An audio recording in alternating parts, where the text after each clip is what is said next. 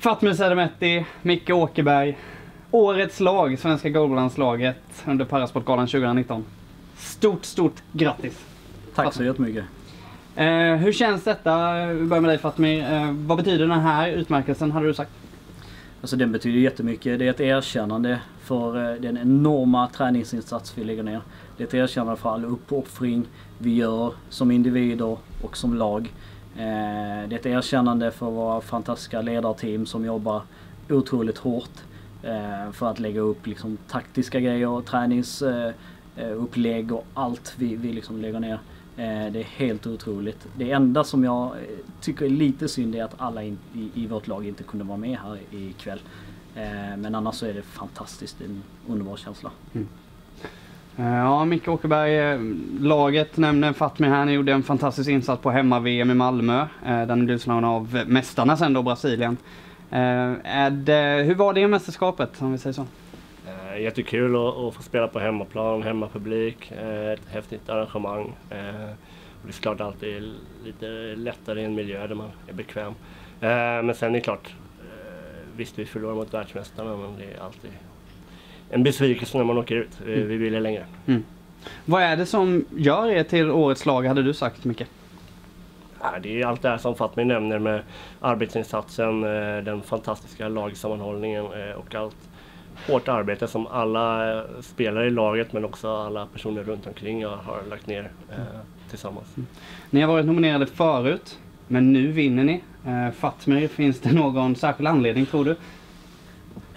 Så det är svårt. Det är väldigt många bra lag som har varit nominerade varje gång egentligen. Eh, och det är otroligt nära och jag kan säga att det var inte självklart på förhand heller, här heller vilket lag som skulle vinna. Både fotbollen och Källkocken har gjort väldigt fina prestationer så att eh, det, det, är en ära att till slut stå där på scen som, som vinnare såklart. Eh, det, jag tror det som gjorde det, det är väl konkurrensen i vår idrott är ju så otroligt hög idag. Eh, att vara eh, med på, på en kvartsfinal och, eh, och liksom eh,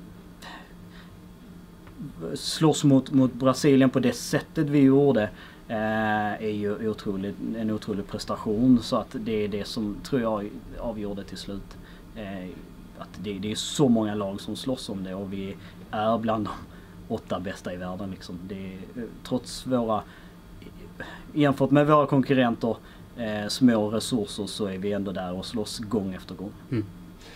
Eh, med all respekt, men ni börjar ju komma lite till åldern nu grabbar. Vad menar du med det? eh, hur, hur, ser, hur ser liksom framtiden ut inom svensk goalball hade du sagt eh, Micke? Den ser väldigt bra ut och det är kanske en av, en av drivkrafterna för mig att, att göra den här satsningen även mot Tokyo. Att vi har unga spelare både som redan har kommit in i landslaget men också som finns under där och vill upp. Eh, att eh, att eh, kunna hjälpa dem eh, ja, till Tokyo och eh, sen lämna över när det finns nya världsstjärnor på plats. Det, det är en drivkraft och, och, väldigt kul och förhoppningsvis efter sådana här priser och, och eh, kanske ett Paralympics i Tokyo så kanske ännu fler får upp ögonen för sporten. Alltså att starta säsongen i januari med träningsläger liksom eh, när man är snart 36. Eh, känns ju inte sådär wow det här vill jag gärna göra. Och så är man på träningsläget och så kommer liksom eh, nya stjärnor som, som Olof Ryberg och, och Oskar Alvestedt och liksom bara ger en så mycket energi. Då känner man att nu jävlar, nu tänker jag också liksom blod, svett och tårar för tillsammans ska vi liksom ta oss till Rio och det, det är det som Tokyo. är så... Till, Tokyo är det. Rio har vi redan varit eh, Det har varit så mycket Rio. Men till Tokyo 2020 och, och eh, det är liksom det som gör att det, det känns liksom helt värt det att, att bara ge allt. Men med andra ord så eh, kan vi få se här nästa år igen då boys?